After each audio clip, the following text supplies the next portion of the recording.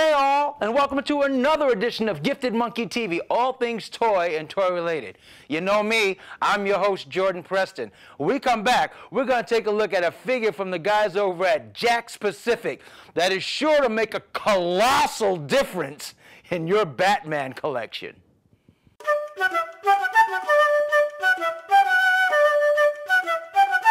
Respect the monkey! All right, guys, and keeping with the promise of the awesomeness, there he is. Did I not tell you a colossal difference in your Batman collection? This is the Big Figs four foot tall classic Batman figure. This is amazing. Big Figs never ceases to amaze me with what they do with their Big Figs. They got they got a small little a small little niche that they do with DC licensing, and that is those big figs, which are 18 inches, 32, 31 inches, and then now four feet. They did it with Star Wars, now they're doing it with DC. I love it.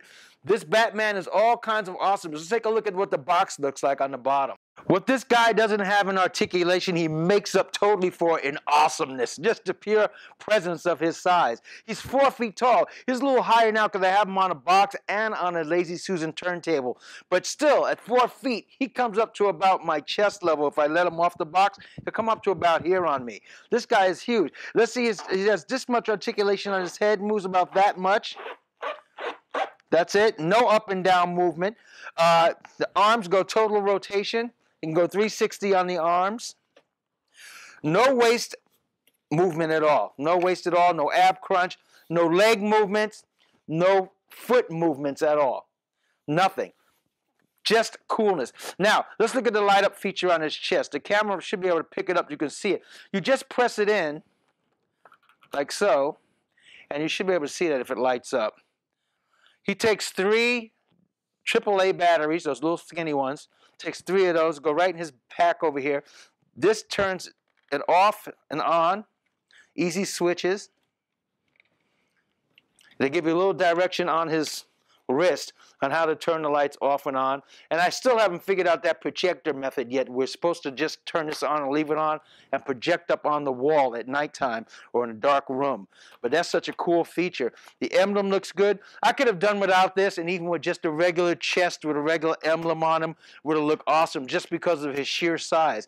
As we turn him around, we see that nice cape. This is like a pure, like a, a slight light felt on his cape. But they did a nice job, Jakks did, of marrying the color of his cape. I got a little smudge on him from lifting him up.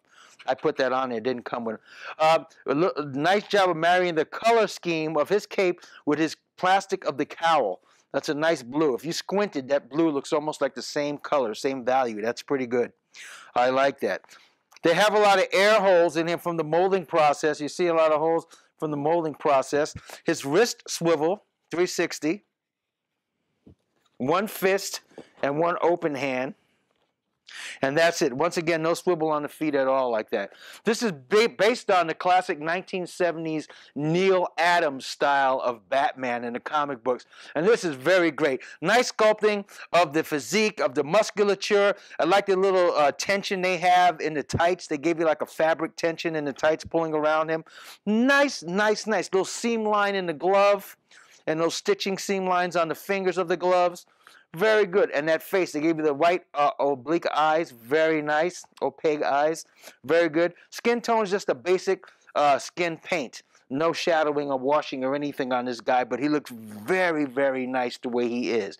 The ears have a little bit of implant look where they put it in from the molding, but that's okay. Let's take another 360 of this guy.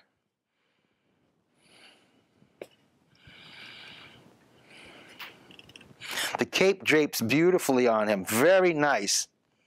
It's not a scalloped cape. Well, it is, but it's not deeply scalloped. It's slightly scalloped. The cape is very nice like that. And it drapes really good right in the back like that.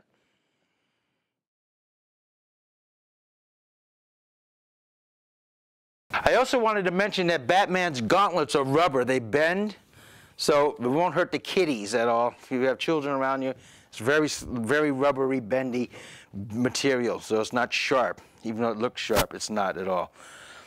This guy is really all sorts of awesomeness. I can't tell you how cool he is to have a four foot Batman in your collection. Now, is he a necessity in your collection? No. If you're a guy that collects true, very museum like quality statues and hot toy type of figures in your Batman collection, that's usually what you only have, then he might be a little bit on the goofy side for you to have in your collection. It might throw it off a tad bit.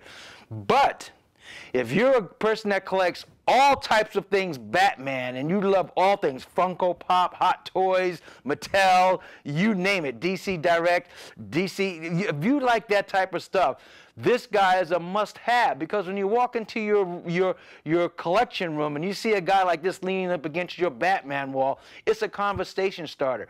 Uh, you can find this guy at Toys R Us. Uh, that's usually where I think I where he's where he's sold at. No, not mom pop stores, not Target or any Walmart or anything like that. He runs about anywhere from seventy nine to hundred dollars.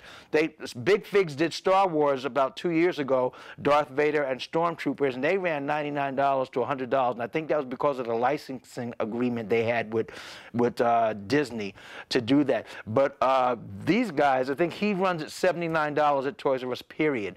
Uh, I got him around Christmas time time, 2016. It was 79 bucks. Really a nice purchase. This guy looks fantastic inside your room. Light up chest. I love it. And where are you going to find a four, four foot Batman? you won't. So, yeah, should you get them? Definitely. Must have. Good price. Great likeness of the Neal Adams Batman.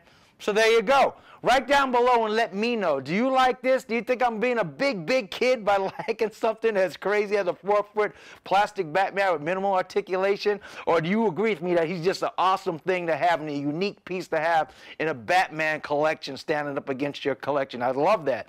Write down below, let me know, because you know I'll get back to you. And Right up, check us out on Pinterest, Facebook, because we have different things on there than we do on the Gifted Monkey Show.